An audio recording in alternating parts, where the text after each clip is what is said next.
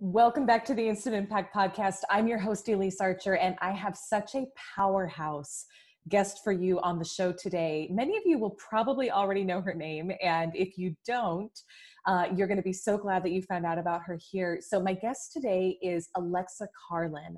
And a little bit of background if you're not familiar, she's a nationally renowned public speaker and the founder and CEO of Women Empower X. So, she hosts these incredible conferences for women um, across the country and is doing this at a really young age, but bringing together literally thousands of women into the same room to help inspire them to pursue their passions and go to the next level in their career and life. Um, she's an expert public speaker. She speaks a ton for young audiences and colleges and universities, helping to empower them as well. And, you know, I'd heard her name uh, just through my network a number of times and then finally got connected with her uh, through a mutual friend and was so excited to have her on the show today. And you're going to love what she has to share. I learned so much from her, and I think some of the biggest things that I took away and what you can look forward to are first, how being told she had a 1% chance to live uh, when she was in her early 20s, how that changed her life. And you'll hear a lot of that theme throughout the conversation today.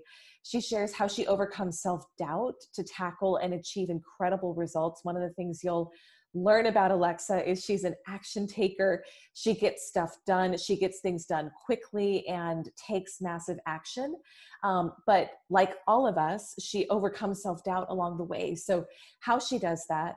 Now, one other thing that we get into, which I think is really interesting, and I know a number of you are in the public speaking space or wanting to build a brand in public speaking. And uh, as we record, it is June of 2020, and the speaking world has changed dramatically. And so I wanted to get her advice because she is a speaker. She runs events. Her whole business model has been in person events. She also coaches public speakers.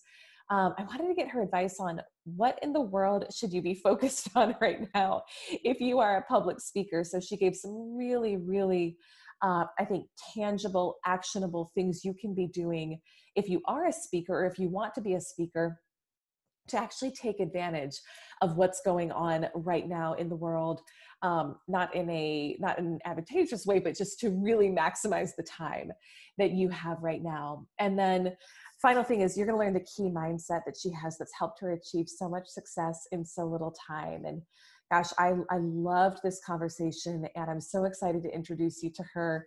Um, I will say there were some, a couple Wi-Fi kind of blips. Uh, it is worth powering through them. I promise you. Um, and I appreciate your patience with that right now as so many of us are at home recording. I think it's, it's kind of hashtag 2020 sometimes wi-fi is not as as stable as we would like it so thank you for your patience because there are a couple times when the sound drops, um, but it's to be worth it, I promise, to listen to the conversation and to learn from Alexa. So, with that, uh, let's let's not waste any more time.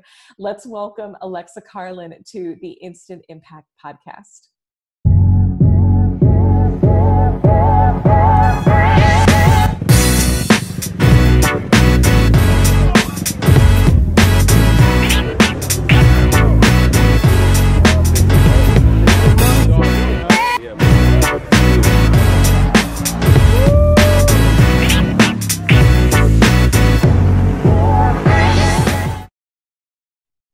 Alexa, I have to tell you, I am so excited to have you on the Instant Impact podcast today. I think, you know, even just in the process of prepping for the show, I feel like I have up leveled a lot of my thinking about what's possible in a short amount of time and uh, just making a greater impact in the world. And you've clearly done that. So I'm, I know we're going to have such a fun conversation today and um, just get so much out of this. So thank you so much for being here with us today and uh, sharing your wisdom.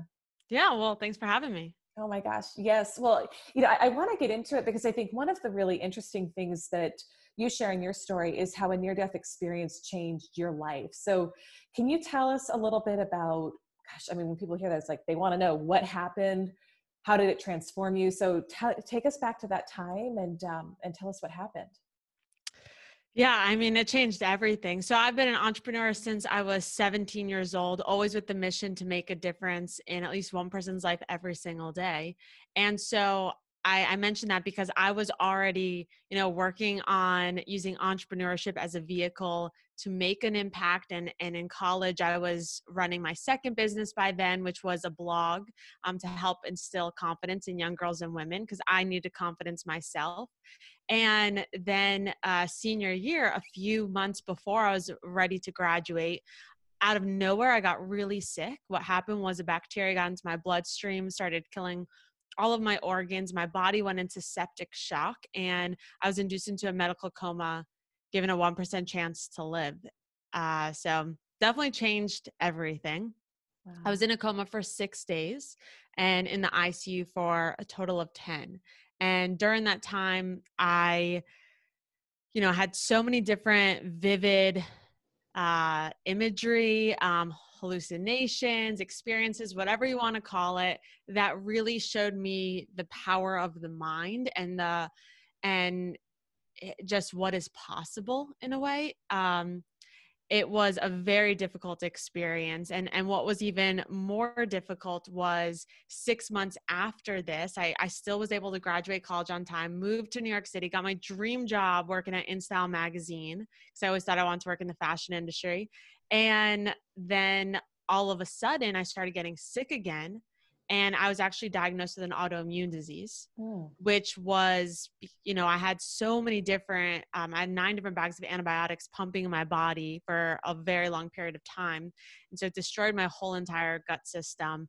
And that has been the hardest thing to deal with, um, which that experience led me to share my story and uh, kind of everything I'm doing today because what i what that is it's an autoimmune so it's chronic there's no cure for it and you have to learn how to live with it mm. um, so that journey has been a tough one for sure wow and i understand you wrote a, a cookbook during the time you were at home recovering yes yeah time, so right? um I don't know if you could see it right there. there you oh, go. I love it. Yeah. The lighting's yes. not the best, but uh yeah. so yeah, because I was trying to heal myself through food. I mean, I mm. I went mm. to every single type of doctor, Eastern, Western, integrative, holistic, and nothing was working. And so I decided to take a little bit um, from every uh, piece of advice that I got. They say health is like the one industry where everybody can have an opposite opinion right it's very confusing and uh, and i decided you know i'm going to heal myself through food through um, you know mindset and it was a mix of medicine and that. And I went completely vegan and gluten free for a period of time. And of course, I'm I, like my body has changed since then. So I'm a big believer in listen to your body and and mm. not one diet fits all. Uh, but that was a way where I was able to make light in a in a dark situation um because there was a period of like eight months where i was quarantined. I could not leave my house. I was too sick to even walk my dog outside. Wow. and so i couldn't eat the foods i wanted to eat. I couldn't go out with friends. I couldn't do anything. Um, and when you're 22 23 years old it's very i mean at any age it's very difficult. So me and my mom started making these different recipes trying to find food that i could digest and uh, I was turning like my favorite recipes into vegan and gluten free with ingredients. And I ended up just taking photos, posting on social, and everyone's like, "You should write a cookbook." So I did. you said, "Sure, why not?" Right? Why not? well, there, there's a couple of things that I want to ask you about from that because I think one is I know you've got a, a you seem to have such a strong mindset when it comes to going through a challenge, but I also can imagine in that moment, you know, there were probably days where it was like you just you wanted to like curl up in a hole and die, right? Like that has to be so challenging. I mean, right now as many of us are listening, we're we're in quarantine or we've been in quarantine, but it's different when everybody is versus when it's just you. Mm-hmm. That's radically different. How do you what what's the mindset that you've adopted to help you transform a challenge into something that actually does good for other people? That's a good question. So there's two ways to look at something. You can mm-hmm. look at it as something that happened to you, or you can look at it as something that happened for you. Mm. And I took that, that took a long time to learn. Don't get mm-hmm. me wrong. But once I started to adopt that mindset that this had to happen for a reason, I started to go on this journey of curiosity. So curious to what may happen if I don't give up, if I take one more action step, if I try to think one more positive thought, do one more thing. And so that led me to really finding the courage, finding the strength to turn this obstacle into an opportunity. So that's kind of a different perspective in the sense of when I was trying to heal myself. Uh, I was going to all because, of course, you need to heal your body physically as well as mentally. Because I was going through a lot of post traumatic stress during this time, so afraid I was going to get that sick again, and that's obviously no way to live. But when I was going to all these different like conferences when I was healthy enough to see motivational speakers or see healers or um, you know read different books, it was very challenging because while they were all amazing, they all spoke on the past. Here's mm. what I mm. went through, right? They went through addiction or a health issue or child abuse or whatever it may be. And then here's what they did to overcome it. And here's how you can too. And that is very valid and useful advice for someone that's overcoming something that's in their past. But what happened for me, my near death experiences in my past, but my autoimmune and what I was dealing with will never be in my past because it is something I live with all the time. So that's when I was like, well, I I I need to share my story to show like here's all the stuff I'm still going through, all the challenges, but I'm still chasing after my dreams and so can you. And I think that's a very powerful message, especially for everything that's happening right now. It's like, don't wait for your life to change. Um, you must change your own life. And we're always going to have obstacles come our way. There's usually very short periods of time where everything's going smoothly. And usually, if everything's going smoothly, like you're not really living life to the fullest. Mm. It's kind of mm. this weird, um, you know, fact about life. But with that, if we're always trying to overcome an obstacle, we're spending our entire life thinking that we need to overcome something in order to be happy, in order to get what we want, in order to live the life of our dreams. But if you shift that mindset and see how to shift the obstacle into an opportunity versus try to overcome it, then you can live in a, a state of joy or in state of gratitude with the obstacle while you're going through it. Wow. Gosh, that's so powerful. Because, you know, as you talk, I think about it's so easy for us to make excuses like i you know i'll do it when this isn't going on or i'll you know i've got to wait and fix this problem or um, and it's like you have built this incredible company. You've created Women Empower X. You're leading these conferences around the world that and doing it while you are still dealing with an autoimmune disease. And i think uh, I mean, I didn't even know that about you going into. I didn't know that was something you were actively dealing with right now, and it's so powerful because it's so easy to. It's just so easy to put off and prolong our dreams and say when things are perfect, when things are going well, I'll mm-hmm. do it. But you're right. There's so much more power when you're doing it because you are called to, not because everything is perfect. Because it's never going to be like that. Right. Um, it's never going to be like that. Is that, I was curious about how, you know, having that 1% chance to live shaped your perspective. I would imagine that's part of it, right? Is, is that mm-hmm. now it's like you take advantage of every day. At any other mindset shifts or anything else that it's really taught you or made you think about in terms of how you run your life and how you tackle every day? Definitely. I I mean there's two main things that I learned, I would say years later, but it was from that experience that it taught me. Um, one is to focus on the things that you do have control over. Mm. So when I was in the coma, actually when I woke up out of the coma, I still had a mask on my face, a tube down my throat, and I was hooked up to nine different bags of antibiotics. So I couldn't move, breathe, or speak on my own. But I I was aware of my surroundings. And so my mind was still working. And I remember like I was in so much physical pain and all the sounds of all the, you know, machines going off. I mean, I was living on I, I wasn't able to breathe on my own. There's so much going on. And I was like, I cannot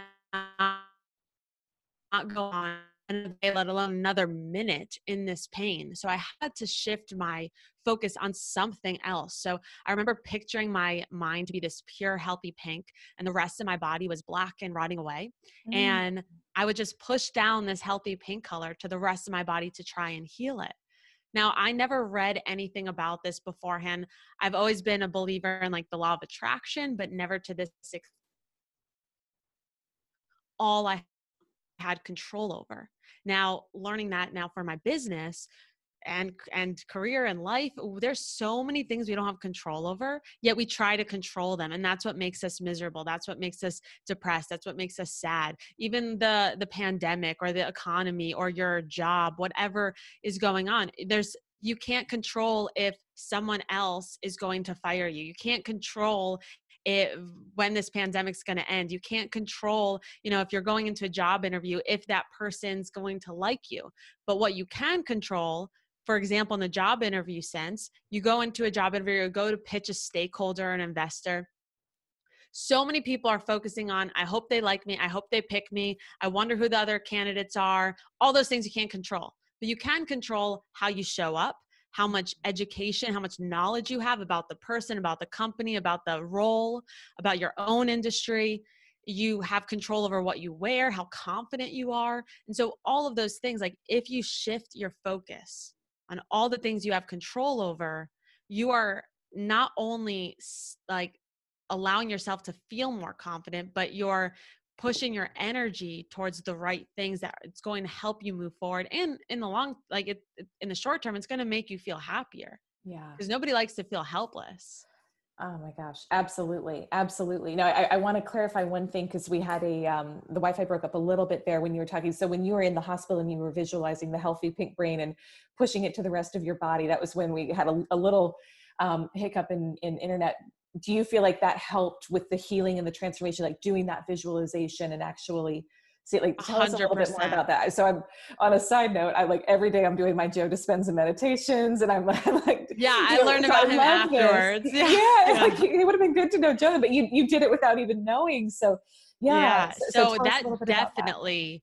I mean, my so the doctors told my mom call your family. She has 24 hours, oh. and for a few days they kept on shaking i mean this is from my mom what she told me because i don't remember but they kept on shaking their head and you know nothing was working uh, they were trying to figure out none of the antibiotics were killing this bacteria and it was going yeah. through my whole system and it it was something that like shifted after like day three or something all of a sudden something started working mm. but i a hundred percent believe that whether it was my mindset that helped cure me or it was the mindset that helped give me the strength to continue so there's two parts of it yeah. and i i think you can believe whatever you want to believe but th- there is so much i mean just in my own journey so much evidence to how your mindset is directly correlated to your health.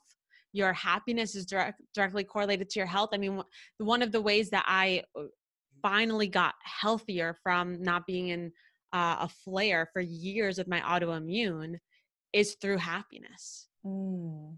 and it's hard because like i'm like i'm not a stressful person but i have a very stressful job. But you you internalize stress differently you eh, sometimes think you're happy but you're really not and that all directly correlates with how you feel yes. i mean you eh, just think about the feelings and your feelings directly correlate with your your health so a hundred percent i i believe that Oh my gosh, that's that's so powerful, and I think for for several of us, many of us, myself included, right now, it's interesting. Just 2020, I I never considered myself to be like in the school of health. I was always pretty healthy. I, that wasn't something mm-hmm. I was focused on. And this year, it's like this health stuff has just started coming up that I'm now actively dealing with. So um, I appreciate you sharing that because I think for many of us right now, stuff is coming to the surface that maybe we hadn't dealt with or we haven't been aware of before. And for I mean, it's it's everything, right? It's it's race, it's injustice for some of us, it's health, it's mm-hmm. all this.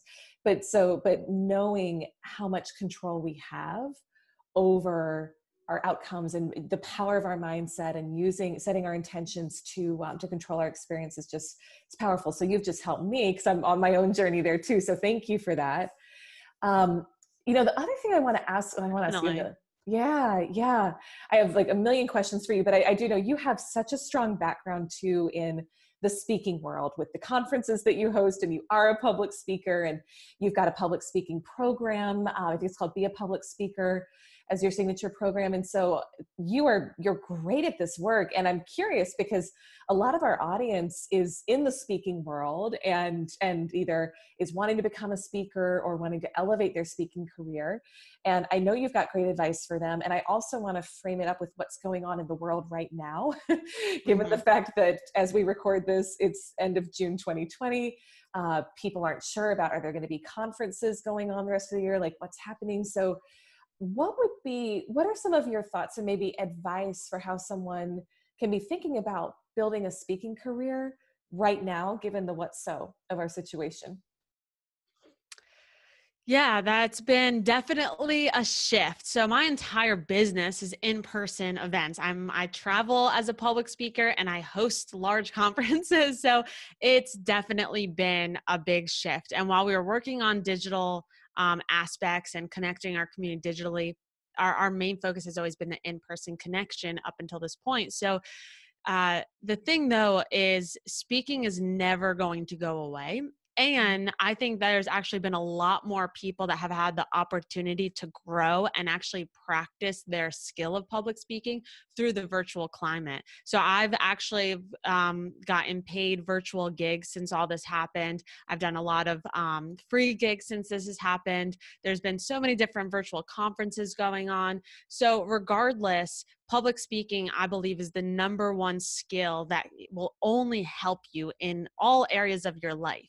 Uh, whether you're you run your own business or you work for a fortune 500 company uh, it's something that can help influence others to work with you to buy from you to partner with you to invest in you. That is the the power of public speaking. And then if you know the business side of it then you can make it a, a career where you're either speaking to represent a company at like say tech conferences and you are a marketing director and now you're building a personal brand so it makes you irreplaceable in that field and in that industry um, or it allows you to market your products your services your events and you speak for free with the goal of uh, you know attracting a new community to your um, to buy from you or work with you um, get become a client of yours or you get paid to speak. And sometimes it's a, all of a mix. Like i have a mix of, of of it all. It's kind of the difference between what i teach platform versus keynote platform. Speakers are speaking to have a goal of selling something. They're still mm-hmm. offering tons of value. But for example, uh, Les Brown is a platform speaker. Uh, Grant Cardone is a platform speaker. Um, and then a keynote speaker will be like when I get paid to speak at universities. They're paying mm-hmm. me a set fee. I'm not, you know, trying to sell anything. Mm-hmm. Um, both are, can inspire, entertain, motivate.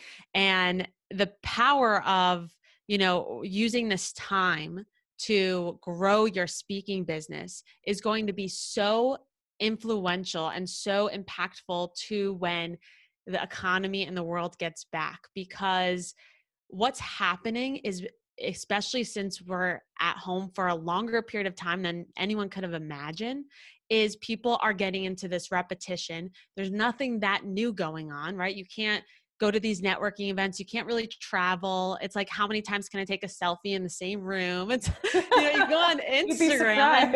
And, yeah, but I'm just saying, like you go on Instagram and it's like nothing really new there. It's yeah. usually like people are showcasing their life and there's not that much going on. But the people that are staying on top of it, continuing to, you know, um, do videos or podcasts from their home, um, showcase behind the scenes of their office, or just put out awesome content that's helping people. Those are the people that are going to be first in mind mm. when you know in-person events start happening again so i think it's really um use it's really powerful to use this time to kind of have an internal season, meaning educate yourself, work on your systems, uh, fix your speaker reel or your speaker page, really, um, you know, learn how to make it a full-fledged business or uh, a marketing um, strategy I mean, public speaking is the number one marketing vehicle I've used to grow my business. But if you use this time to create a real strategy in place, I mean, I, I personally believe people will skyrocket afterwards. Yeah, it's it's such a good point. You know, and um, I'm working with a, a number of clients in the speaking space right now, and it's it's like, yeah, this is we're going to accept what's going on and this is a great time like you said to double down on your assets your materials is your speaker kit in place is your speaker demo reel um, up to date. And so, for you, from your perspective, I'm hearing a couple of key pieces of advice for somebody. One is just kind of embrace the pause and work on polishing your craft. Um, would you say, like, are you seeing people booking speakers for 2021 right now, or is it like, should we be going out trying to get gigs, trying to get virtual gigs, or really just kind of hunker in and and focus on our brands? What are you seeing just in the speaking world in general? That's a good question. I uh, actually just had a meeting with my agency that books my university gigs. And for example, every market and every industry is going to be different. Yeah. So for the university, uh, school wise, they have budget cuts. They are not sure what's happening fall semester. So I had a lot of gigs that got postponed from spring to fall. And now what we're seeing, like I just got, I was supposed to speak at the University of Montana in August of this year and they just po- uh, postponed it till August 2021. Mm, but they mm-hmm. booked it, so it's still like a gig, but it's now in 2021. Yeah. But there are other ones where I've postponed fr- from, or in the beginning it was postponed, but now they're looking to make it a virtual event in the fall. Mm. So there are still events taking place. In industry, for example, um, regarding some other big conferences, most of them have been postponed or canceled. And a lot of them have budget cuts, but I would be thinking about the industry. Like if you work in the tech industry or you have uh, a signature talk that's focused on people that um, are in tech, women in tech, whatever it may be, then that industry has been on the on the rise since coronavirus. Mm. So I think right now you can if they have a date booked for spring 2021 for their events, you could easily pitch them. But keep in mind the economy and the state of the industry that you're pitching before you pitch. Yeah, yeah, that's it's it's smart to be thinking about, right? It's just being it's thinking about what's going on with the times, how can you pivot?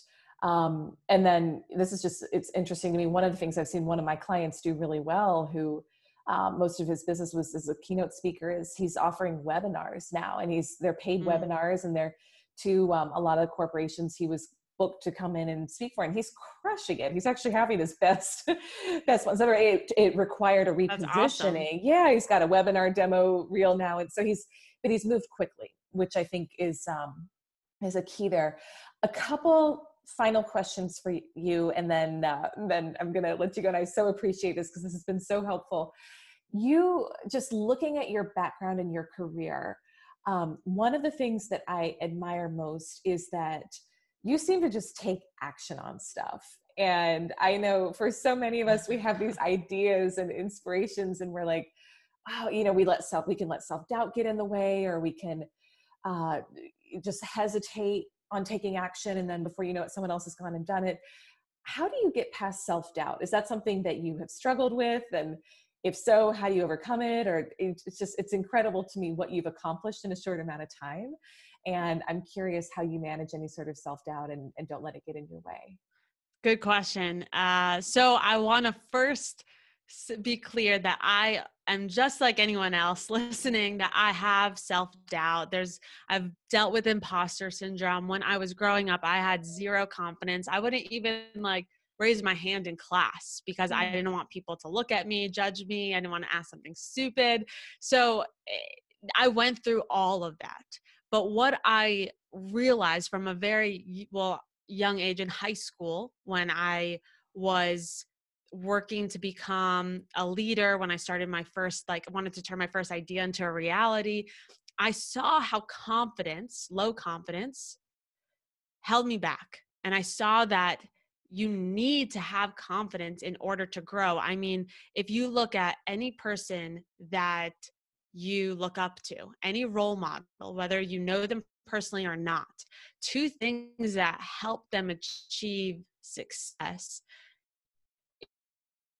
is having confidence and energy. Or some time I hated going to networking events, for example hated hated hated it i would be the person in the corner pretending to be on your phone because i would be like alone and i realized networking is imperative to growth so mm-hmm. i if i had to go by myself because one thing i learned is what makes me feel confident sometimes the clothes i'm wearing makes me feel confident if i'm with someone else that's a friend or my assistant or mom or sister that makes me feel more confident to introduce myself so you have to learn what makes you feel confident in order to hack the confidence system, as I like to call it.